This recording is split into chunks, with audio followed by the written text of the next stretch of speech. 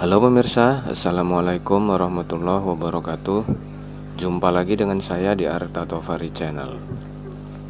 Ini adalah kipas angin Desven merek Miyako Datang dengan keluhan Kalau kipas anginnya ini sering macet.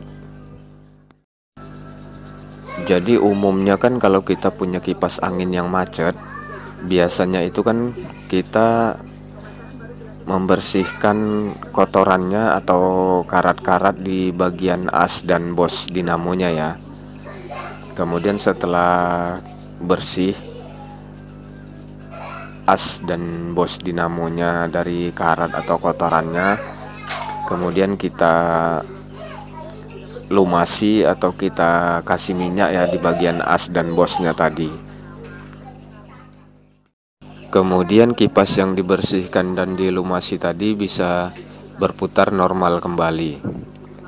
Tapi ada banyak kejadian kipas yang dibersihkan dan dilumasi tadi setelah beberapa hari kipasnya macet lagi. Jadi ini sama kasusnya dengan kipas Desven Miyako yang akan kita kerjakan ini ya. Ini sudah berulang kali dibersihkan sama pemiliknya, dibersihkan, dilumasi, tapi beberapa hari kemudian kipasnya ini macet kembali.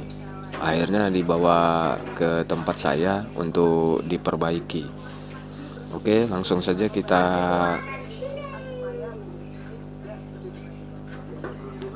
kerjakan ya. Oke pemirsa ini dinamo kipas anginnya.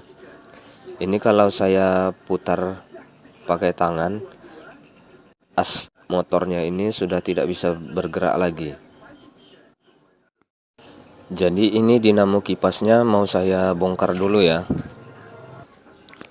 Karena untuk kipas angin yang berulang kali macet seperti ini bosnya harus diganti dengan yang baru karena kalau tidak diganti dengan yang baru nanti kipasnya pasti akan macet kembali setelah beberapa hari digunakan. Dan posisi bosnya ini ada di sebelah dalam angker ini ya. Ini kalau bahasa di tempat saya angker namanya sarang depannya ini. Depan belakang namanya angker dan posisi bosnya ini ada di sebelah dalamnya. Jadi harus kalau untuk mengganti bosnya ini harus kita bongkar dinamonya. Oke saya bongkar dulu ya. Oke ini as motornya ya as dinamonya. Yang berkarat tadi di bagian depannya sini. Jadi nanti kita bersihkan dulu depan depan belakang lah. Belakang sekalian juga dibersihkan. Kemudian ini angker depannya. Bosnya itu di sini ya pemirsa. Dalam sini. Jadi nanti ini penutupnya ini kita buka dulu untuk mengeluarkan bos bosnya. Oke kita kerjakan dulu ya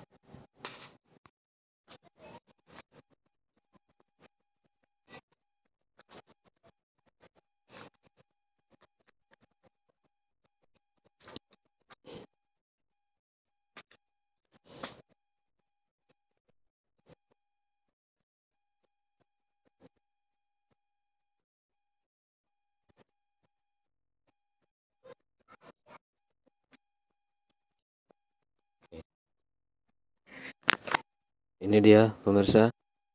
Ini bosnya ya.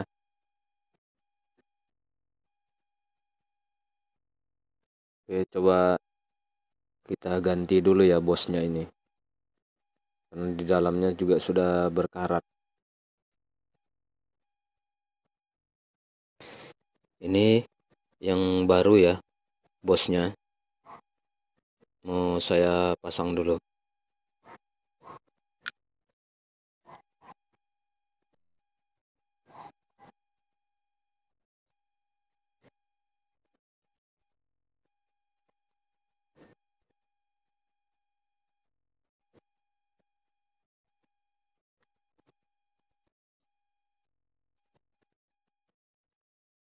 Oke pemirsa, bos yang baru sudah saya pasang ya. Ini dia. Dan ini bosnya yang lama. Dan kalau kita coba seperti ini, as eh, bos yang lama ini kita masukkan ke asnya. Ini kalau kita goyang gini,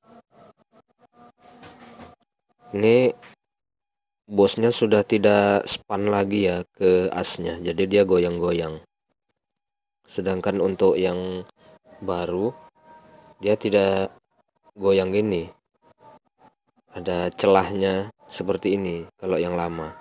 Jadi kalau kita ini dia oleng dia goyang-goyang. Kalau yang baru masih span dia masuknya. Oke jadi seperti itu ya. Jadi harus kita ganti bosnya ini. Oke kalau begitu saya pasangi lagi ya biar kita tes hidupkan kipas anginnya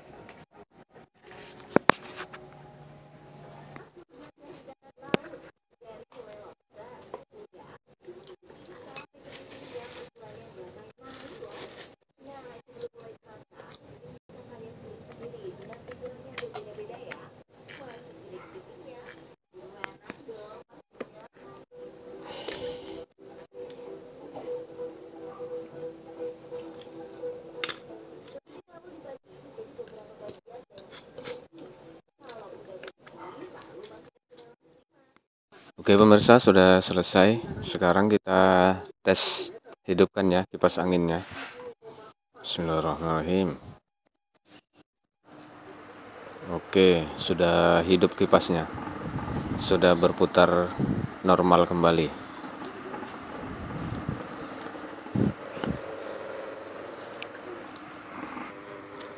Oke pemirsa, jadi kalau kalian punya kipas di rumah yang sering macet sudah dibersihkan sudah dilumasi kemudian beberapa hari macet kembali kalian bisa ganti saja ini ya bosnya.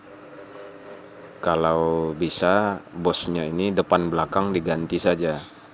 Jadi tidak bolak-balik kita bongkar kipasnya karena bosnya ini satu di depan satu di belakang. Jadi ganti saja dua-dua supaya lebih aman tidak berulang kali kita bongkar lagi kipasnya. Oke sekian dulu video ini ya.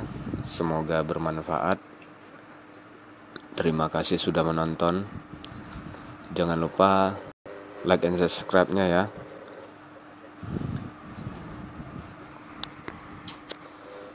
ketuk juga loncengnya supaya kalian tetap mendapatkan video terbaru dari saya. Wassalamualaikum warahmatullahi wabarakatuh.